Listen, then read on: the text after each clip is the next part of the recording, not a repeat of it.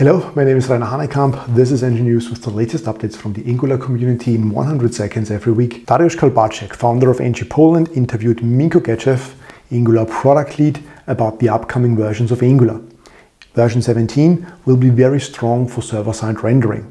There will be a new application builder which runs on ESBuild and Vite and is responsible to build the client and the server part.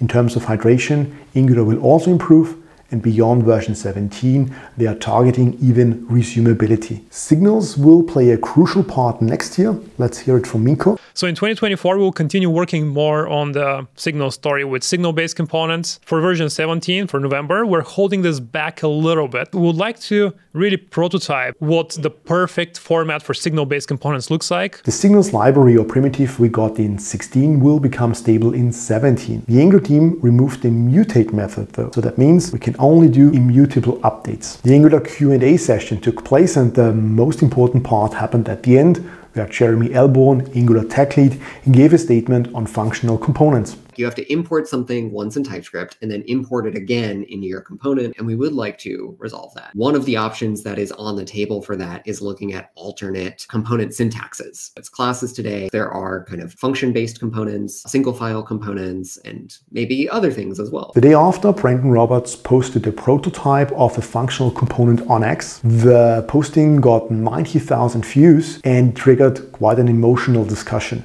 It's definitely worth a look. That's it. Wishing you a nice weekend. See you in the next episode. Goodbye.